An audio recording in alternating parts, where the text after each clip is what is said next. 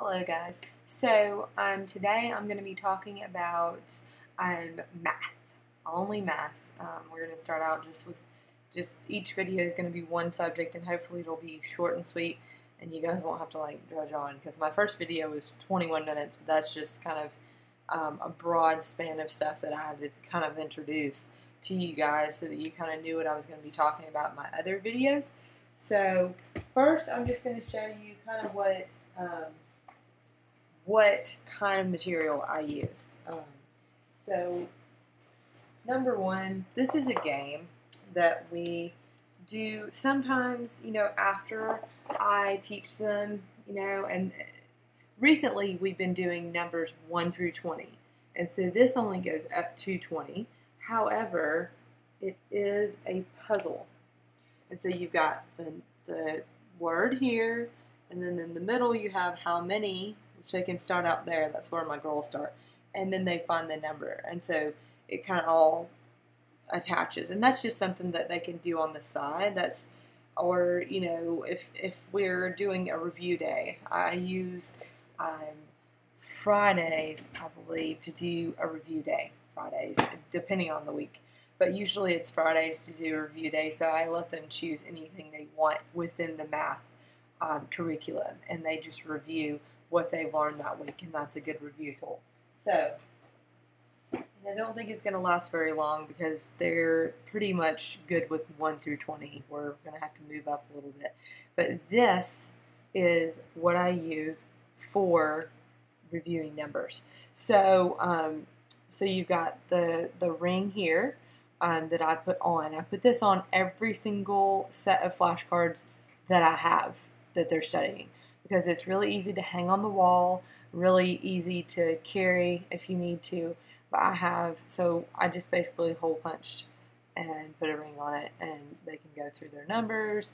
It does have numbers on the back, so it goes all the way up to 100. So we're working on 1 through 20 right now, um, they have town pretty well. And the main curriculum, as far as written work, I use this.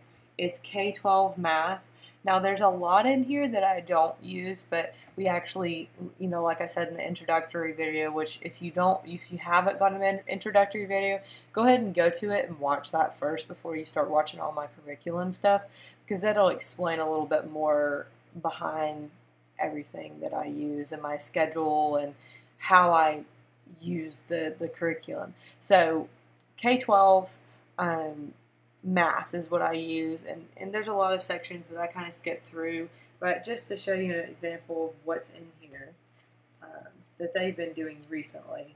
They're further at the be, kind of beginning, middle of the book. Sorry about the sun.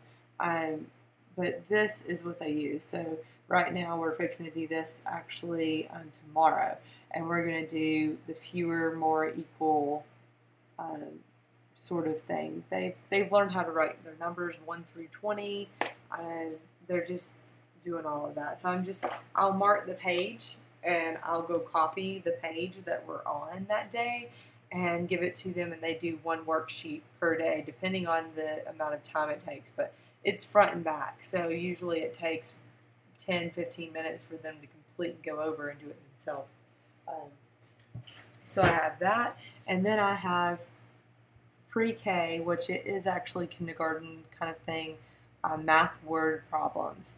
And so we can practice, you know, our, our math problems. For example, help um, him find the cheese with the correct number.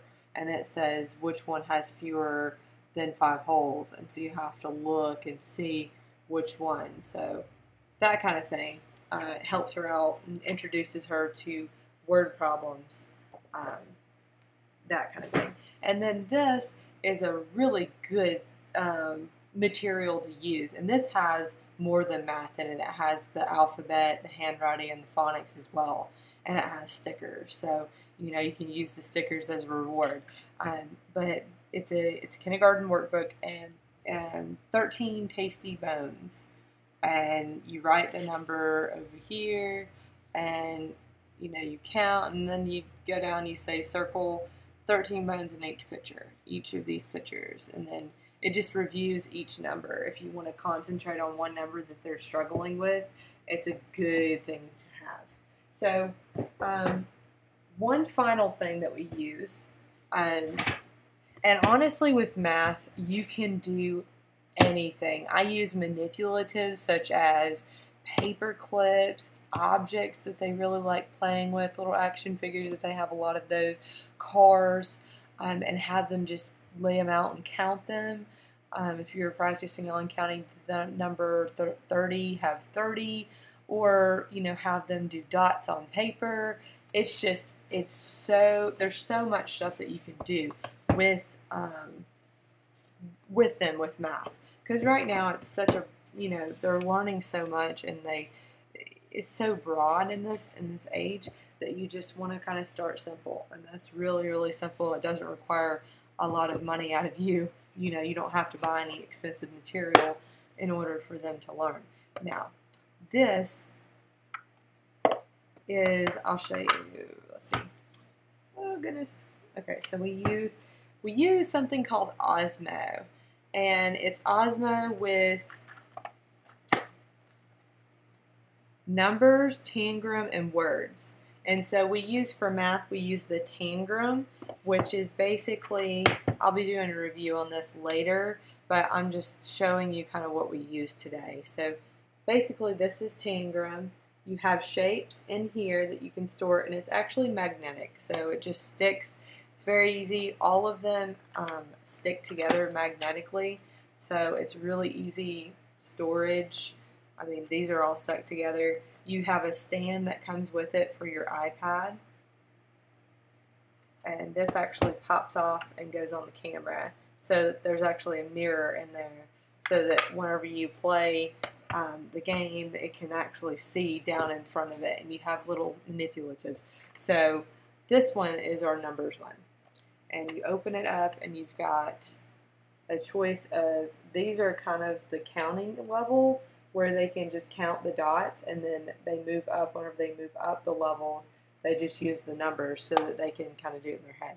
But that allows them to do that and then we you know the tangram they build basically they build animals out of these shapes and it's really neat. And you the ipad that it requires um, it, it actually will work with the old ipads too. Have the ipad pro um, and like I said in my introductory video, the iPad is phenomenal as far as um, you know what you can bring up on it using YouTube, using um, Google, using all of your different resources. I also have apps, educational apps on my iPad.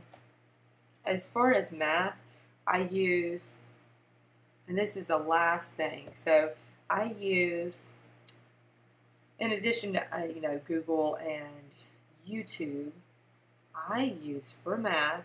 We use something called bedtime math, and that's what the icon looks like there. And basically, what it is is it's little um, snippets that you read to your child before they go to bed, and um, that are like math uh, related or math problems that they have to figure out. And it's just really, really simple. You select the age um, of the child to adapt to that level, and then you just um, go for it. I mean, my kids love being read to before bedtime, and they say, according to research, that doing math before you go to bed is actually really good for the developing brain. So, I mean, we do it sometimes. It's not something that, that we have to do right before bed. They can do it, you know, during the day while we're homeschooling or whatnot. So that's just a good recommendation. Another recommendation that I would recommend for math um, is going to be, I don't know if you can see, but ABC Mouse, which I'll go on and just kind of show you.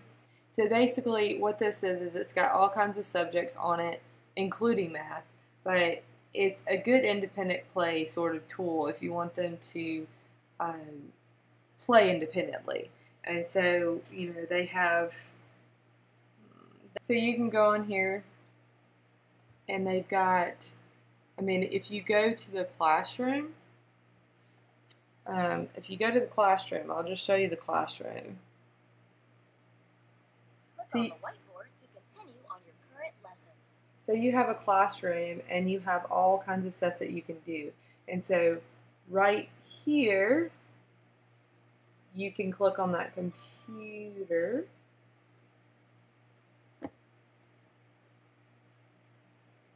And there you go. There's a lot of math stuff that they can do there, and it, it, it's it's age level basis as well. So you're able to adjust the age level um, of the child, and it can adjust. It has all kinds of stuff on other subjects. It basically covers all of your subjects. So if we have a day where we need to um, be somewhere else, then it's good to be able to for them to take it with them and be able to kind of practice and us not have to tote everything with us. So it's a good kind of mobile tool. Also a good independent play tool if you just need them need a minute to you know for example I copy my worksheets the day of. I don't do any sort of prep as far as um, what they're going to be learning that day. I just mark my page. I know where I'm going to be copying from, and that's it. So, you know, if I need a minute, if I need a minute or two to go copy, I'll turn that on and let them kind of play together.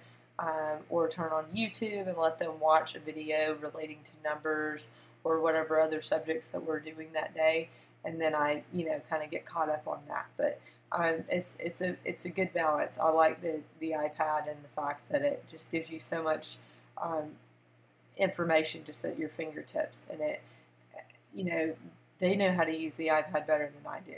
But thanks for watching. That's it for all of my um, materials. The Osmo I will be doing a separate video on just to kind of show you guys the different, like how it works in the different games so that you can kind of get a feel for that because that's just kind of a different uh, thing in and of itself. So, but thanks for watching, guys.